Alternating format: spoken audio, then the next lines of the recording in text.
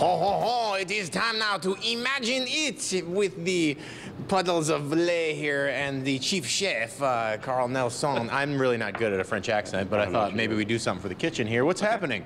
We're going to do a really cool experiment that you can do at home with stuff you already have uh, milk, detergent, little food coloring.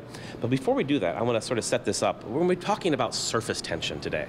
Okay? Right. And I've got a tray of water and a really fine powder. I'm going to sprinkle some of this powder on top of this plate of water. I want to get a fine layer of powder on top so we can kind of observe the surface of the water.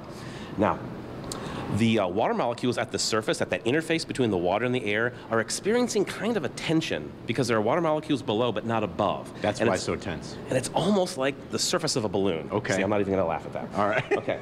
So I've got some detergent here, and what I want you to do very carefully, don't touch the table. We want that to be very still. I want you to bring the tip of this over and just touch the surface right in the center of the plate. I think I've seen what happens here before, so I'm going to go it. slowly. Go slow. Whoa! Look at that.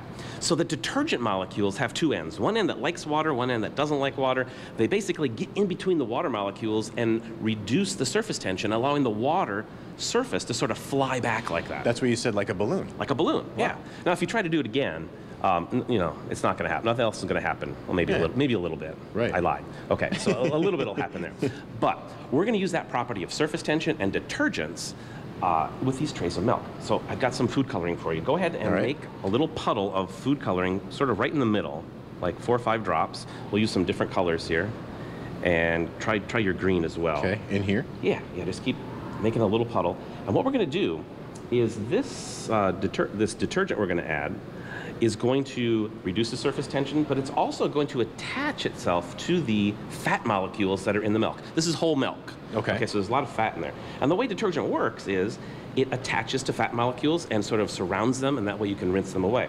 So what we're going to do is we're going to take this little sponge, we're going to coat it with detergent, and I'm going to give you the fun part. You're going to take this, the detergent end, and just place it straight down, plunge it straight down into the middle of this the is instead of forcing the molecules away, it's Well, actually attracting just- some fat just- molecules. Just watch and see what Okay. happens here. There's two things happening. One, Whoa. okay, that was that breaking, and you can leave it in there. Oh, all right, Leave it in all there. right, yeah. You, you can break that surface tension. The water sort of flies away, Yeah. dragging the food coloring molecules along with it. Simultaneously, here I got another tray over here. Let's try this one. We'll do the same sort of thing. Simultaneously, the detergent is attacking or uh, impaling itself, Impaling. attaching itself to the fat molecules that's inside the milk.